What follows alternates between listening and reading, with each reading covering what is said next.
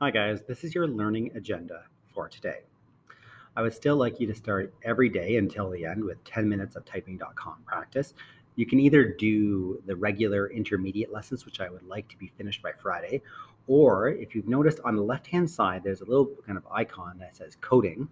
And if you click on that, there is some HTML uh, practice. So you can now either have the choice of doing typing practice or HTML practice um, a video I would like you to uh, watch because this is the beginning of our summative project, which we'll, we will be working on Wednesday, Thursday, and Friday. Uh, so what you should be working on uh, today for this project is first your research organizer, where you're going to find out important information about a trip you're going to plan to a specific city. Um, if you're ever unsure, you don't have any clue of where to go, choose New York City. It's easy to find information. So you have to do your research organizer first. I have a video explanation for that.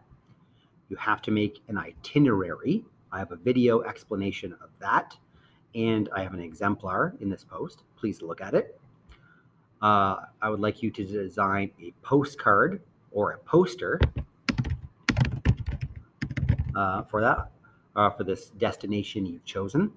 I have a video explanation of that. You can either use Google Drawings, Pixlr, or Canva to design it.